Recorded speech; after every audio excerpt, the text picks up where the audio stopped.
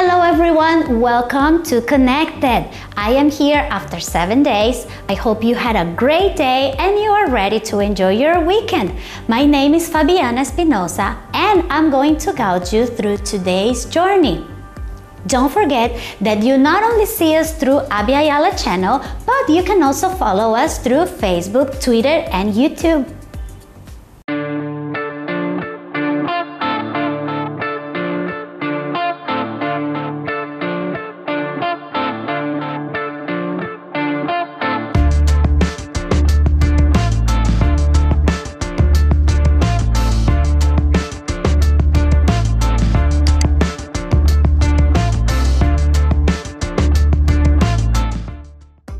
There is no doubt that among the billions of people that live in this world, we have different languages, we have different religions, we have different beliefs.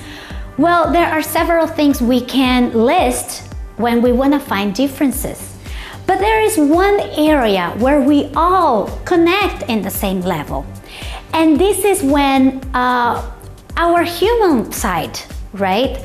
This is more tangible, for instance, when we connect with nature, when we uh, see families together, when we um, see people that uh, just are uh, sharing the togetherness that it means to be a human being, correct?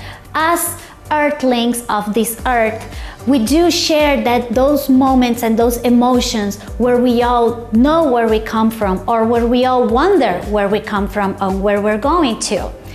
Um, I want to find there is a special aspect where we all get vulnerable and most of everybody loves. It's the act of listening to music. For instance, when you are listening to the music you like or to the music of your preference, then is a moment when you are at, um, in, in connection with your feelings. And that's exactly what we want to talk about today. I want to bring together fusion, um, the acceptance of other cultures, and music. And in order to do that, I have a special guest. He is music himself. He is a natural, he is a musician that has been practicing his music since he's six years old. His name is Amado Espinosa. He lives in Kansas City, US, and today we're gonna have the pleasure to have him here and learn from his experience and from his music. I will be right back with our interview. Don't go anywhere, stay connected. Today, I have the pleasure to present the one-man band Amado Espinosa. Hi Amado, I am so grateful to have you here today. So, as we heard about your background, you go from one instrument to another. I would like to know how many instruments do you currently play? Do you have any favorite? Hello, thank you for the invitation. So, I play more than 40 instruments from different countries. And my favorite instrument is the charango. The charango is a small instrument from South America, from Bolivia and Peru. It has 10 strings and is one piece of wood. But sounds for me incredible. It's so beautiful. I love it. I see. And from these uh, 40 plus instruments, do they all go from uh, strings and flutes and guitars? What what are they go from? Oh, um, this instrument is uh, from. Uh, I want to say it's very like indigenous instruments. So I play mostly uh, uh wind instruments made by bamboo made by wood, different uh, ceramic, bones. So all these instruments is um, it's from different areas, and it doesn't have like a specific a specific uh, scale or notes, the regular notes. So, for example, um, I play the tarkas, and the tarkas means uh, it's it's an instrument from from Bolivia, and this instrument it has a specific scale, like an Andean scale. So I cannot play with with the piano or the guitar. So I play a lot of these kind of instruments. So and the didgeridoo, Oh, I it- see. this instrument is from Australia. So I play this instrument, but um, it has just one sound, one note. So it's more indigenous instruments. So I, I play this kind of instruments. I see. That sounds so interesting, Amado. And I want to kind of like put together the social work you do among with your music. Um, if I, I've read on your website all of the different workshops that you held in order to educate people through music, right? And especially that your um, that your uh, mission it is to kind of promote respect among cultures right? Among world culture. So i read that you had a project about a museum a project where you dedicated yourself to um, unified and gather different instruments. Tell us about this experience and please tell us how many instruments you were able to put together So uh, with my father, we started to uh, to collect the instruments uh, since 2000, um, and we got more than 500 instruments from different countries. Unfortunately, in the place where the instruments were, it burned. So. Light light night struck to the roof that was um, paja brava it's a type of grass and it, it burned very fast like in 30 minutes. So i lost all that instruments. But i am keeping all my knowledge with the sound Uh-huh. and designs and each instrument. And and now um, I can build my own instruments. So, but the experience was very incredible with uh, collecting a lot of instruments. So I traveled to different uh, different places in Bolivia and in in in, in Peru and Argentina. But yeah, this is my my story. So you go you go traveling and you go collecting the material in order to build these instruments, correct? Yes. Um, I, I, I collect all these instruments, and we have a museum in, in Cochabamba, in, Uh-huh. in Marquina. Is is is like a one hour from Cochabamba. So this museum was very huge.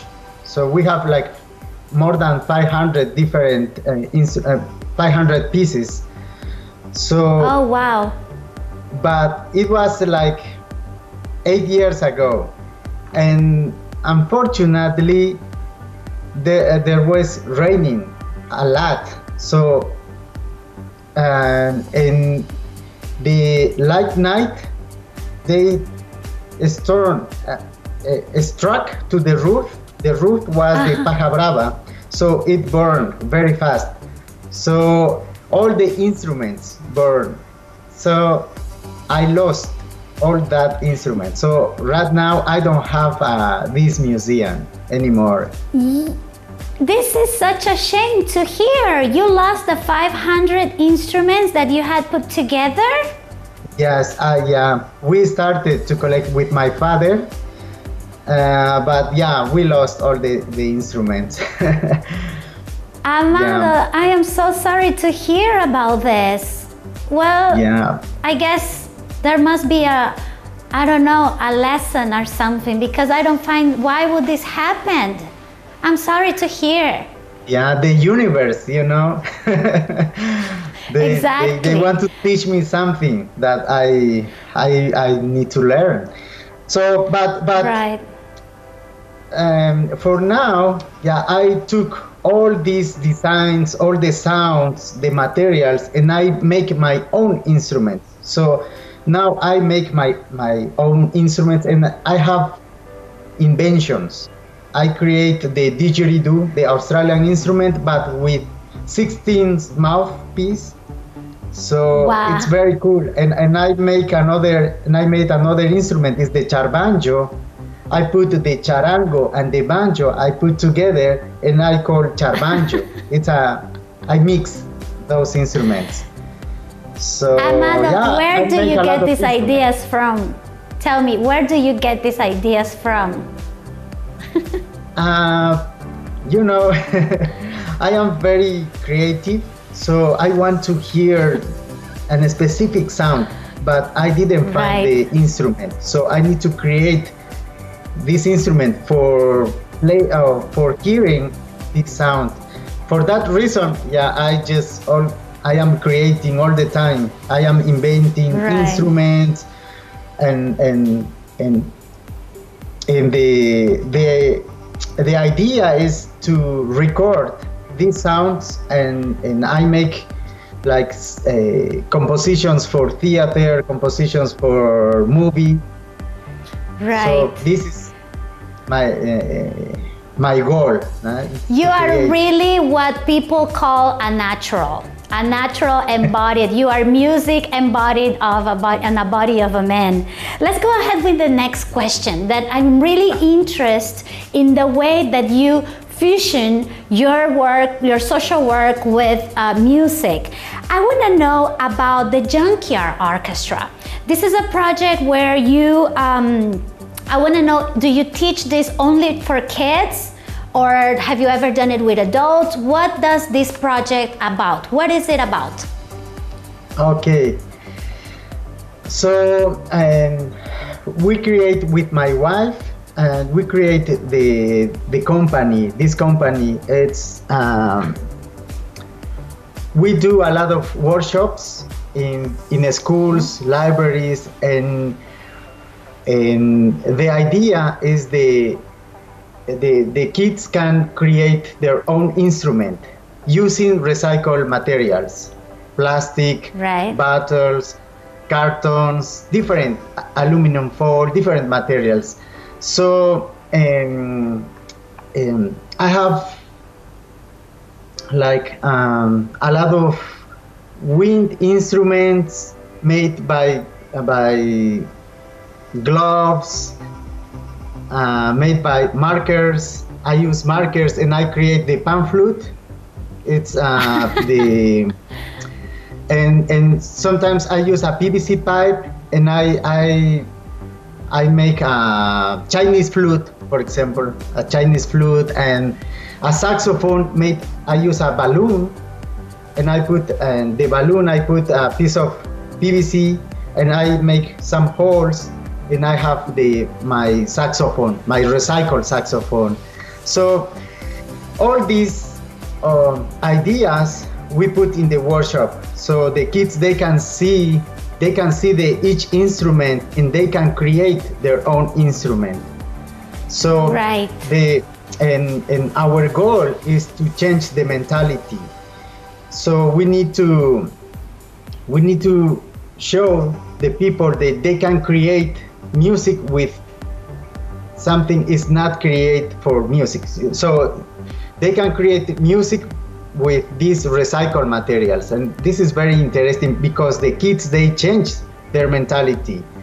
And they Right. think they can do it.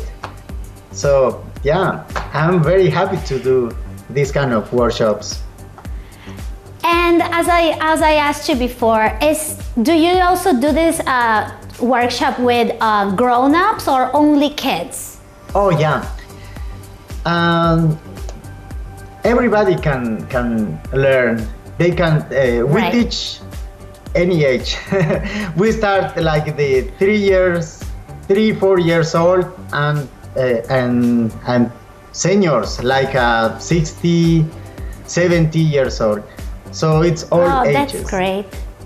That is Yeah. great because really, uh, most of the time when we are kids and our parents kind of like want to uh, tell us or invite us to play an instrument regularly, you go to a store, you buy your instrument, then you go to some classes, and then you have to uh, practice, practice, practice. And a lot of us gets lost in the way, right, of the practicing and I believe that definitely the approach that you um, that you offer to these kids is definitely um, a point to a change, right? It's just the way they are approaching and entering to the world of the music.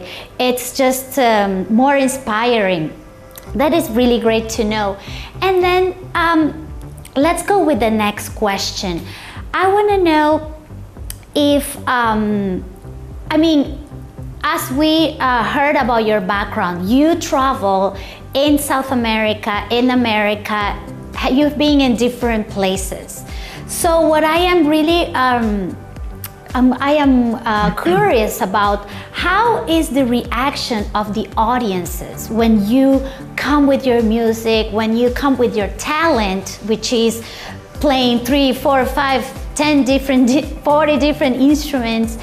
Um, how is the feedback? How does people react after they listen to Andean music? Oh, so people like Andean music uh, because it's very nostalgic and also can be very cheerful, very happy.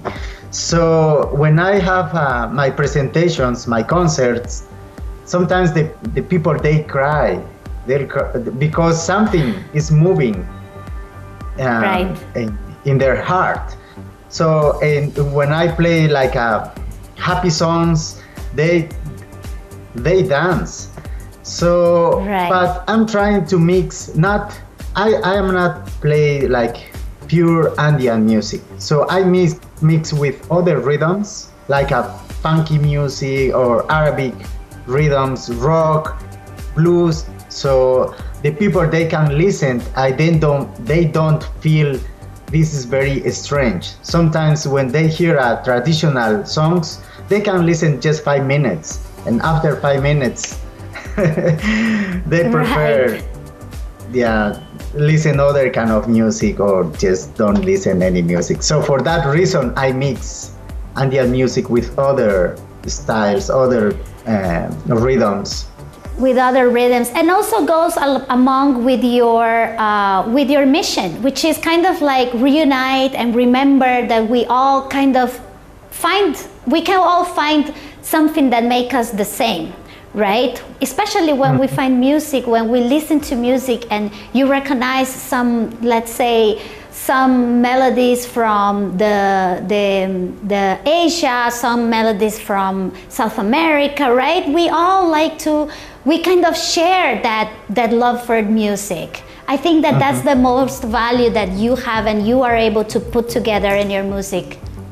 hmm Yeah, that's right. Because we we have a lot of walls, so all the countries and the different cultures. So my mission is to create bridge bridges, so the people they can they can travel from different countries with a lot of respect. No, so Right. uh, yeah, we are a human being, so that we, we have all in, com- in common. So it's only our mind is not like in the same direction. Right, and that's exactly where my last question is going. I want to give you kind of a space. I want to ask you, what is your what is your message? What would be your message um, for for the for the general public? Because there are some people, there are musicians that are listening to you, and some others that are just the public. What would you like to tell them? And also at the end, please say hello to everybody here in Bolivia. Okay. um, okay, for your last question, um, yeah, I. If you if you have a dream, and it's like a, in my case is um, I want to be a musician, so in the beginning was hard for me because you know, in, especially in my country, in Bolivia, uh, I didn't have a lot of support. So, and in in the musician life is not easy.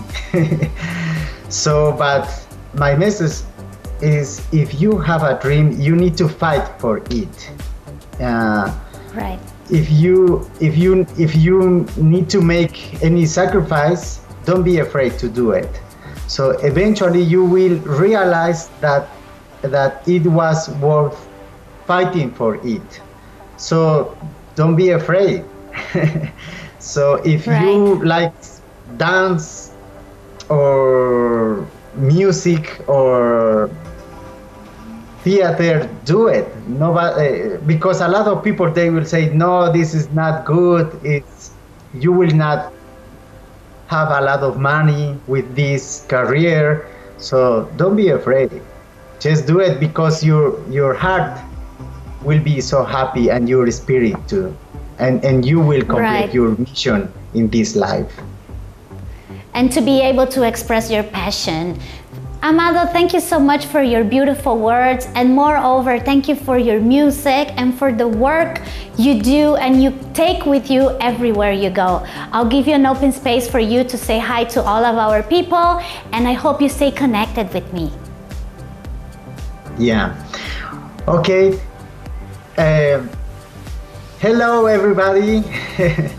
I am Amado Espinosa, and I am uh, happy to share my story and yeah, please visit my website is amadoespinosa.com and and yeah, and just uh, watch Thank the you, videos Amado. and the music, and we, we will and I will share all the this talent that I have, and and I want I, I will be happy to share with you.